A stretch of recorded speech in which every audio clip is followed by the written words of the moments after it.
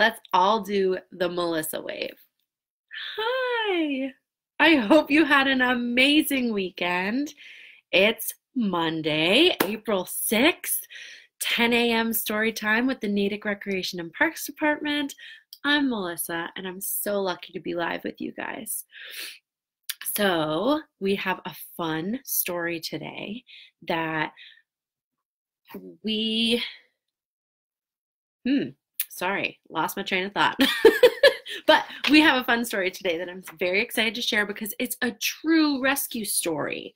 It's called Lucky Ducklings and it's by Eva Moore, and the pictures are by Nancy Carpenter. And I don't know if you've read this book before or not, but it's a true story from New York and it's very fun. So let's see what it's all about. What do you think? Lucky Ducklings. Very fun photos too. And it's not a shiny book, so there shouldn't be as much of a glare as there has been the past few days. But it's a true story about a mama duck and her five ducklings. Here we go. The duck family lived in a pretty pond on in a green green park in a sunlit little town at the end of Long Long Island. Early one morning, Mama Duck swam to shore. She hopped out onto the grass. Right behind her came Pippin, Bippin, Tippin, Dippin, and last of all, Little Joe. What a fine day for a walk! Off they went through the green, green park. Whack a whack, Mama Duck called to her brood. Follow me. And Pippin, Bippin, Tippin, Dippin, and last of all, Little Joe lined up right behind her, and off they went. They came out of the park and into the town. You got to say hi to people. Oh boy. The ducks had a bite to eat.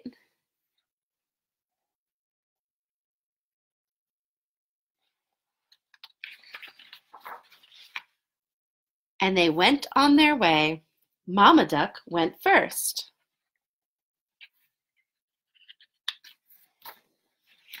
Right behind became right behind came Pippin, Bippin, Tippin, Dippin, and last of all, Little Joe. Oh dear! That could have been the end of the story, but it wasn't because someone saw what happened. Help, the woman cried. All the baby ducks fell onto the storm drain. Call the fire department. People came to see what the matter was. They could hear the ducklings making a ruckus below. Mama Duck heard them too. She ran back to the storm drain and wouldn't let anyone get near. Whack, whack, she said. Get away from my babies!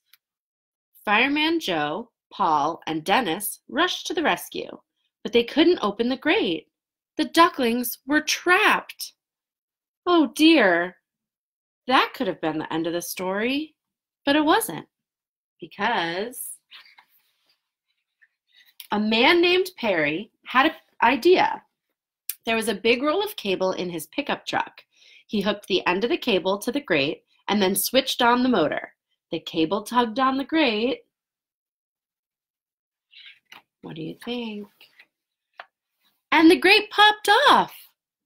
Fireman Paul climbed down, down into the storm drain. Everyone waited.